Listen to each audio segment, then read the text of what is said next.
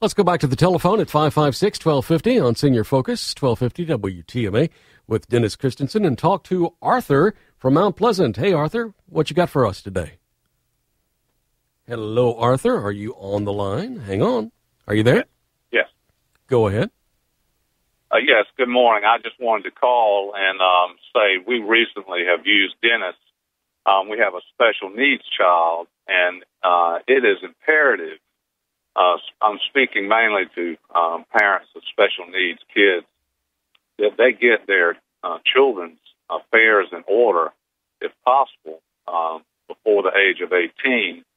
Um, and Dennis was just a tremendous help on being able to look around the corner and seeing what's uh, coming and what we're going to be dealing with, um, having no idea, um, not having a legal mind, but he was just very um, caring, very nurturing, uh, very thoughtful, and um, just uh, relieved us from a lot of um, worries and challenges in addition to what we already have.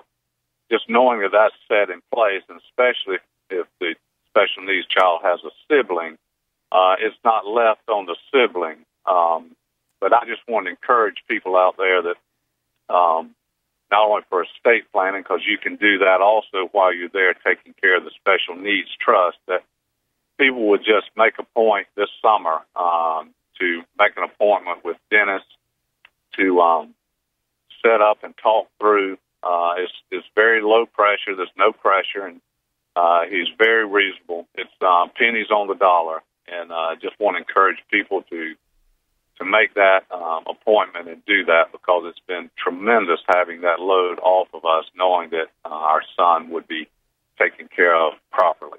Appreciate your time. Well, th- thank you, Arthur. And there'll be a check uh, at the office at the front desk on Monday morning. Unsolicited comments, though, right? But, but you know, Arthur has, has brought up some very important um, information that that we deal with a lot of people who have children with disabilities and we know for having done this for, for so long, the pressure that it puts on a family because when you do generally estate planning, what you're worried about when you have children is making sure that they're taken care of until they become 18 or 21 and then they go off and they have their own life and now you just have to focus on you and your spouse.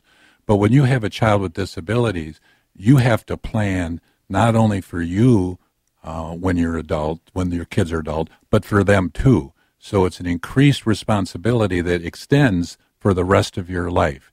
And so uh, one of the things that, that we try to do and kind of our motto is, is that we want to help families be able to sleep at night.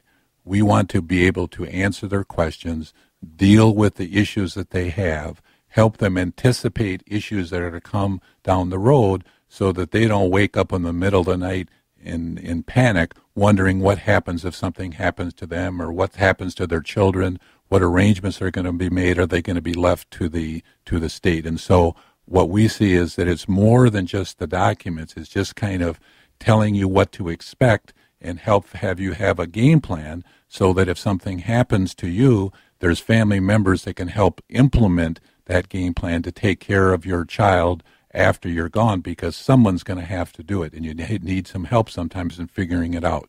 One of the things that, that a lot of people don't fully understand who have children with disabilities is that until the child reaches age 18, uh, that the parents have a lot of authority in making decisions for, for their children. They can make medical decisions for them. They can deal with their money. They can set up accounts for their children's money. They have a lot of legal authority to take care of all of the needs of their children.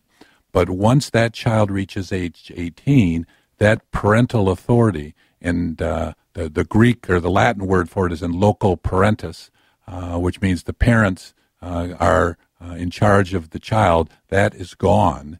And once they become 18, they are their own legal person, and the parents lose much of the authority to make decisions for their parents, whether their child, whether they be medical decisions or dealing with their money or signing paperwork for them, they lose that.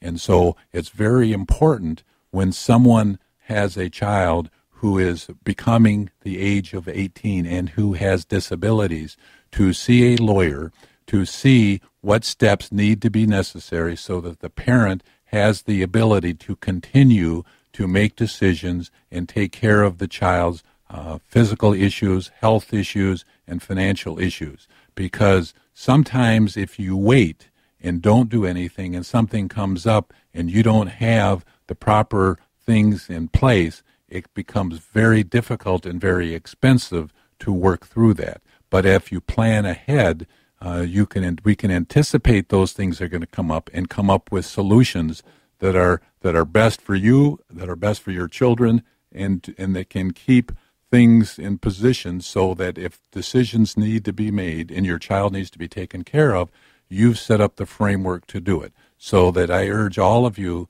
who have children uh, who are approaching the age of uh, 18 uh, to see a lawyer who is experienced in this field to help you kind of set up a game plan for dealing with what will happen when they become 18.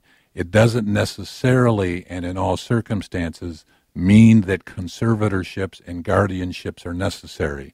There's this myth out there that anytime you're when you have a disabled child and they become 18, you got to go get a conservator and a guardian.